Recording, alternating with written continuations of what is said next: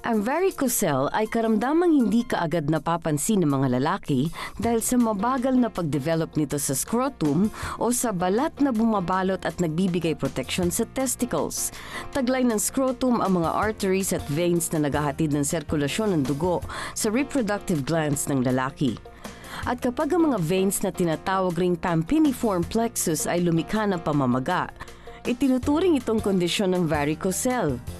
Habang nagpapatuloy ang pamamaga ng naturang mga ugat, ay maaari itong magresulta sa tuluyang pagliit ng testicles na binubuo ng dalawang maliliit na organs na siyang gumagawa ng sperm o similya.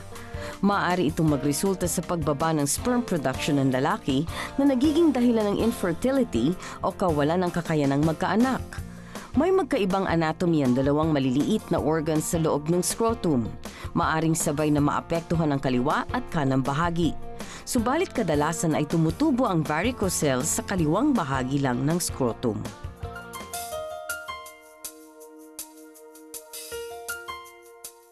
Mula po sa ating healing mission, patuloy na abala ang ating mga naturopathic practitioners sa pag-asikaso sa ating mga pasyente. At syempre, kasama pa rin natin si Kuya Maui Diser ng San Mateo Rizal, si Kuya Romel Razalan ng La Union, no? At habang sila po ay uh, nag-aasikaso sa ating mga pasyente, itong mga healing katanungan naman ang ating pong harapin. At uh, mula sa ating Facebook, ang tanong, Dr. E, paano po ba nakukuha ang varicocele?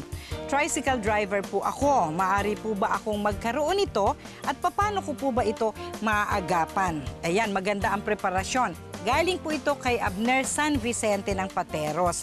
Maganda yung kanyang iniisip ngayon na preparasyon para hindi makaranas ng ganitong problema na nararanasan ng maraming lalaki. Ano po? Yung mga pagkain na rich in bioflavonoids, no? Nandyan yan sa mga halaman na magandang in-consume natin every day at saka hydration, nakakatulong yon no? Para ang varicocele ay maiwasan at saka kung may mga activities ang mga lalaki katulad ng biking, no? Kung saan ang scrotum ay medyo nalalagay po sa balag ng alanganin lalo na pag may mga humps, no? Yung mga nagmumotorsiklo. Dapat po ay ipinapahinga ang maselang bahagi, hindi nililigo, hindi binabasa, no? Dahil kung ang varicocele ay katulad ng mga varicose veins ng mga babae na tinutubuan po sa binte dahil sa pagod sa paglalakad, sa pagtayo ng matagal, pagkatapos ay nagbabasa ng paa or naliligo ka agad-agad, maaring mangyari din yon at ma- maikumpara sa kondisyon ng scrotum na nagdi-develop ng varicocele. No? Alright. At uh, ang ating healing katanungan naman sa ating email, Hi, Dr. E. Ayan, no name please. Matagal na po kaming kasal ni Mrs. pero hindi pa rin kami magkaanak. Wala naman po akong bisyo at hindi rin naman po ako overweight. At wala sa lahi namin ang pagkabaog. Ayan. Nagpa-check up na po si Mrs. sa kanyang OB at wala naman po siyang problema. Sa akin po kaya ang diferensya. Ay nako, Mr. No Name. Palagay ko, asikasuhin mo na bago nila ma-identify na ikaw nga ang dahilan. Ha? Yung hot seats bath procedure na tinuturo ng Healing Galing, alam mo sa website natin, pwede mong balik-balikan kung paano yung procedure na yun ay ginagawa. Parang natural operation natin para sa mga may erectile dysfunction, may varicocele, may luslos, no?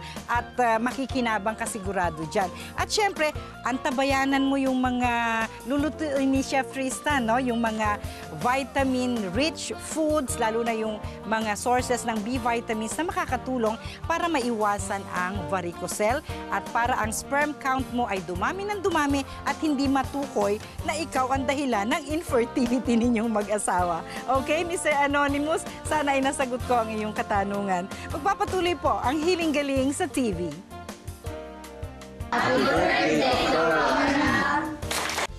Isa na naman pong masarap na putahe ang inihanda sa hiling sangkap ng ating wellness chef. Isang katakam-takam na lutuin ang hain ni Wellness Chef Tristan para maging katulong sa mga kalalakihan. Kaya dyan lang kayo kapatid, magbabalik ang Hiling Galing sa TV.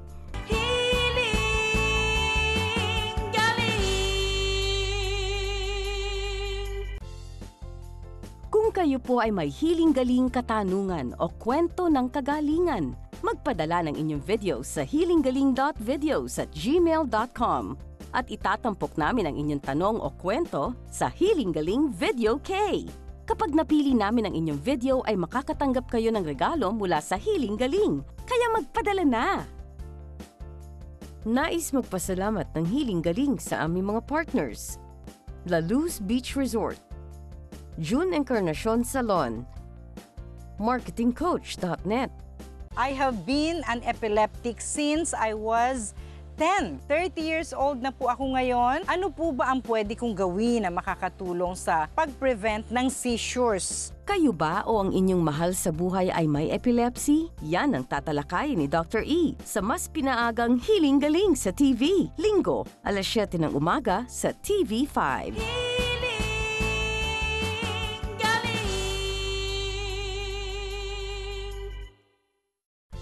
hatid na kalusugan ang luntiang kalikasan.